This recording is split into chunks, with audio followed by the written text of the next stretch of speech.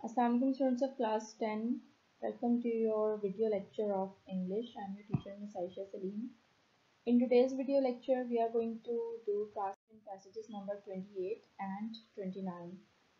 Let's start our lecture with paragraph number 28.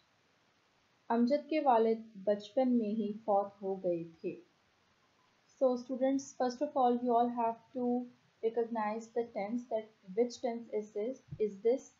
So it will be easy for you to translate it in english. So it is past perfect tense and we'll use third form of verb and had okay? Amjad's parents had died in his childhood. wo yatim ho gaya he became an orphan. yatim matlab orphan उसका चचा उसे अपने घर ले आया। His uncle took him to his house चचा का कोई बेटा नहीं था। The uncle had no son उसने अपने बेटे की तरह उसकी परवरिश की। He brought him up as his own son परवरिश करना मतलब ब्रॉट अप करना, ठीक है? अमजद ने एमए का इम्तहान पास कर लिया और उसे एक अच्छी सी मुलाजमत मिल गई। Amjad passed his MA examination and he got a good job मुलाजमत मतलब जॉब अब उसका चचा बूढ़ा हो चुका था। It's again past perfect tense now comma okay punctuation का भी आपने ख्याल रखना है। Now His uncle had grown old. Amjad ने बाप की तरह अपने चचा की खिदमत की Amjad served his uncle like his real father. चचा ने अमजद को अपना दामाद बना लिया The uncle made him his son-in-law. Amjad अब अपने चचा के कुंबे का मेंबर बन गया। कुंदा मतलब फैमिली को बोलते हैं ओके खानदान। Now Amjad became a member of his uncle's family okay okay ji paragraph number twenty nine let start हज़रत आयशा रज़ी अल्लाह तहा हज़रत अबू बकर सदीक रज़ी अल्लाह तहा की बेटी थी, जो कि रसूल अल्लाह सल्लल्लाहु अलैहि वसल्लम के गहरे दोस्त थे।